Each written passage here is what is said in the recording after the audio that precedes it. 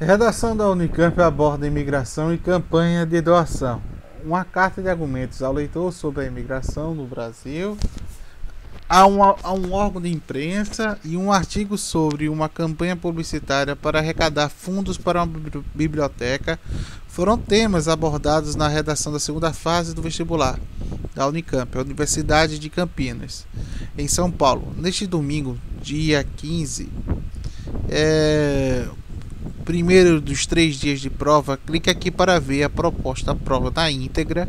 A candidata Larissa de Souza, 18 anos, avaliou como bom o nível da prova, apesar, apesar de, no segundo dia, muitos livros solicitados para leitura não parece, não apareceram nos testes de língua portuguesa. Coitada dela, né?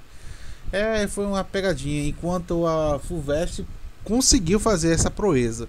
A Fulvestre conseguiu colocar os livros que é, os livros que eles indicaram, alguns dos livros, foi? Parece que foram sete livros.